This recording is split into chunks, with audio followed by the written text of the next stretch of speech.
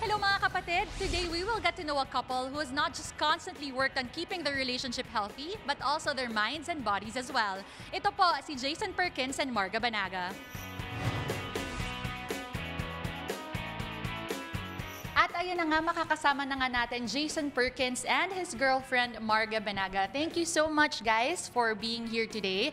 So let's just uh, jump right into it. Uh, Marga, Jason, just tell us more about how this whole thing started because I know you guys have been dating for four years. Uh, well, when I was at LaSalle, uh, I was coming out of practice, and then Marga was outside of Starbucks, and then a mutual teammate of mine introduced us. Then um, later on, uh, I think a year later, I saw her. I saw her sitting on the steps reading a book, and then I had an interest in the same book, and we just started talking about it. And then So Marga, admittedly, Jason, I presume, made the first move. I felt that he liked me from the start. But yeah, I mean, you told me a while ago you're not really a fan of um, sports and fitness. What made you like be interested in Jason? His pers- he was a funny guy. Mm-hmm. Like I'd see on social media, he'd always post witty things, Mm-hmm. and we had the same friends, so I'd always see him out with us. Yeah. You've been together for four years and you're now in this new journey of meal prepping, exercising more. How did it start?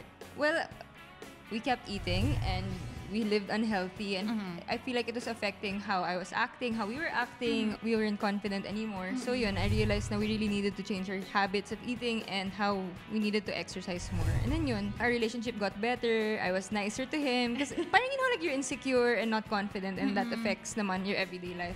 Jason, Marga was talking about new eating habits. You told me also you're you cut meat out of your food intake. Um, I believe ever since I started changing, changing my eating habits, I became a better player. Not only physically, I feel good, but also mentally, I feel great. I think there was a stigma or stereotype before that if you quit eating meat, you'll be weak or, or something. But um, there's so many different sources out there that are really good, and vegetables, different types of protein other than meat. So uh, yeah, I feel great, great. Not only a great athlete, but also I became a better person. So Marga, you have the responsibility not just for you but also for Jason's food. Yeah. Uh, how do you do that whole thing? How do you prep for it? Well, I research muna recipes mm-hmm. that are easy and mm-hmm. affordable. So uh-huh. my one portion is equal to two portions for mm-hmm. him. Um, since we don't eat meat, I make sure we have fish or tofu for protein, and then source of carbs such as black, brown rice, quinoa, or adlay, and then vegetables as well. Do you ever have that feeling that you can't go to the gym and then you're stuck in an office? What do you do Well, when you want to work out? I make it. This, I start my day with it because when later in the day you're tired na. eh. So I make sure first thing when I wake up on an empty stomach, fasted cardio. I think you just need to make a little time. You can even do it at home. Just move your body. Right now, I think we have to show everybody what they really can do at their homes at, uh, so that they don't have any excuses not to exercise. So we'll basically start with a tricep dip. This works on the back part of your arms. Keep your shoulders rolled back, knees bent. Make sure to use your triceps and not your legs when you when you go up and down.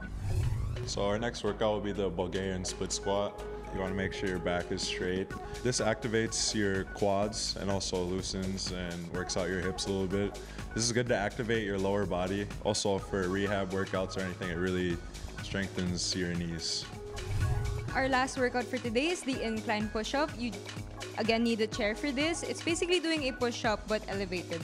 So keep your arm shoulder width and this activates your upper body. Yan na nga nakita nyo naman, simple yet very effective exercises you can do at your own homes. Marga, Jason, maybe you have a message for anybody out there who's just trying to work out again. Day one pa lang sila at medyo kulang sa motivation. Well, all you have to do is start, be patient and trust na when all the little efforts will be worth it in the end. Um, if I could give one piece of advice, it would pretty much just to trust the process. And also just enjoy working out as well. Don't try to focus on the numbers so much, but more so how you feel. Uh, at the end of the day, there's more deeper things than looks. Um, deep down inside, it makes you just feel a lot better. Uh, to all the PBA fans and fans of Phoenix Fuel Masters, uh, thank you so much. We're going to try to play our best. And I love you.